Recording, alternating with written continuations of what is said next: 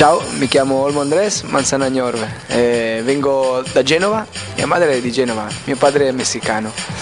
E mi occupo di educazione e musica e quindi cercare di mettere insieme questi due aspetti importanti della mia vita e anche del mio lavoro. Laboratori per esempio didattici, laboratori interculturali, attività di musica live diciamo e attività educativa territoriale.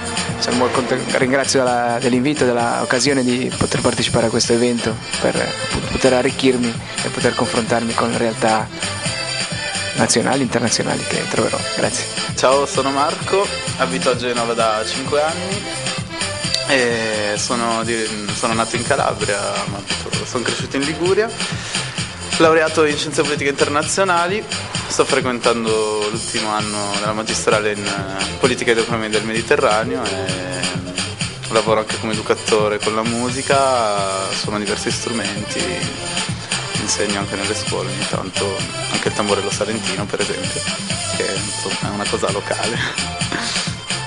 Ciao, sono Mohamed Kabur, eh, sono mediatore educativo al laboratorio migrazioni, eh, italo-marocchino, cioè di origine marocchina con nazionalità italiana.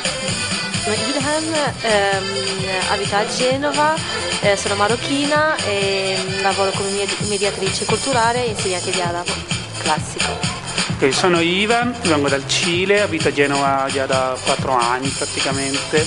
E sono sociologo, qua a Genova lavoro come educatore, studio anche lingue e basta, quello. Ciao, sono Maria Luisa Gutierrez Ruiz, sono peruviana, abito a Genova da 9 anni, ho studiato a Genova antropologia culturale e lavoro come mediatore educativo al laboratorio migrazioni. Cosa tratta di preciso questa esperienza? Allora, partecipiamo come nuovi profili, eh, diciamo da Genova, eh, noi proponiamo delle attività riguardanti eh, eh, diciamo, gli elementi culturali che caratterizzano un po' la, la costruzione identitaria della persona. Eh, proponiamo delle attività sul, sulle, sulle lingue, quindi le lingue materne dei bambini di origine straniera, e diciamo di riflesso fuoriesce anche il discorso sulle, sui dialetti ovviamente e poi delle discussioni dei laboratori eh, sul come considerarsi, in che maniera considerarsi italiano, nel senso che essendo noi di varie provenienze di origine eh, ci consideriamo italiani ma in parte, in parte italiani ma anche diciamo, di altre origini. E, e quindi viviamo diciamo, una una doppia, una doppia condizione eh, in cui ci identifichiamo con eh, due culture diverse e due maniere di pensare e, e di essere diversi. Siete qui ad Ostuni dunque per la settimana dei bambini del Mediterraneo che si terrà dal 17 al 22 di ottobre. Che cosa farete di preciso questa, durante questa settimana e se è la prima volta che venite qui a, ad Ostuni? Sì, per noi è la prima volta e come dicevo proponiamo dei laboratori a seconda delle fasce d'età, nel senso per le elementari fiabe in eh, lingua, in lingue più che altro italiano, arabo, italiano, spagnolo, eh, dei laboratori eh, per i ragazzi un po' più grandi, quindi per le medie per esempio sul, eh, sulla musica eh, sul, sul, ritmo e invece per i ragazzi eh, diciamo delle, del lici, dei licei, quindi delle scuole superiori, una sorta di eh, dibattito sull'essere italiani, eh, una maniera di concepirsi italiani. Eh, terrai qualche laboratorio qui durante la settimana? Sì, ehm, parlavamo dei laboratori per esempio musicali, che saranno una delle cose di cui mi occuperò in, in prima persona e ti accennavo prima no? rispetto alla musica che facilmente identificabile come un linguaggio universale, quindi qualcosa che riesce un po' a superare le barriere linguistiche e anche culturali, no? perché se vogliamo è interessante riuscire a rendersi conto come appunto i gusti musicali, soprattutto per esempio dei ragazzi di una certa fascia di età, per esempio delle medie, abbiano gusti musicali che sono ormai globali no? e quindi è interessante per esempio partire da dare degli spunti no? e rendersi conto che magari il rap piuttosto che il reggaeton, la salsa arrivano essi stessi no? da una determinata locazione geografica che però in realtà ha influenze eh, che arrivano chissà da quanti altri posti.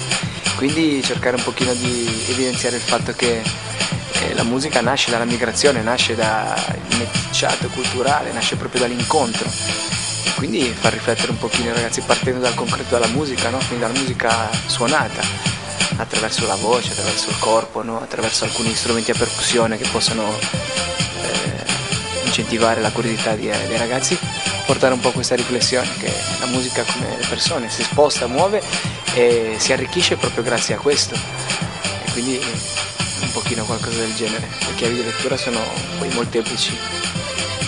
Qual è il vostro obiettivo per, per, questa, per questa, settimana? Cosa ehm, vi porterete un po' dietro durante questa, questa iniziativa? Eh, o in generale portare la nostra esperienza personale, ognuno, ognuno di noi, come, fatti come nuovi profili, come ha detto prima Simo Hamed, e tramite quello anche condividerlo con i ragazzi, con i bambini con cui parteciperemo. Nel fondo è esplicitare questa nuova società nella quale stiamo vivendo tutti. Eh, anche il fatto di eh, parlare dell'incontro, quello che dicevo un po' Olmo prima, il fatto che incontrarci è sempre arricchirsi, non è un problema, crea, sicuramente all'inizio possono essere delle difficoltà, ma alla fine diventa un ponte per essere sempre più ricchi, per crescere, ad esempio quello che vogliamo fare con i laboratori linguistici è il fatto di, di sapere che ognuno ha un bagaglio culturale, fra cui la lingua, che può condividere con gli altri, può essere un un elemento di arricchimento per tutti. Ma cioè, come dicevano anche loro, una, cioè, un'esperienza prima, eh, cioè, portiamo la nostra esperienza, ma anche cioè, impariamo qualcosa anche noi da questa esperienza, per quello che cerchiamo anche di essere presenti in incontri come questi, perché mm, cioè, ci rappresentano, sono incontri che, sono, che arricchiscono sia noi o le persone che incontriamo.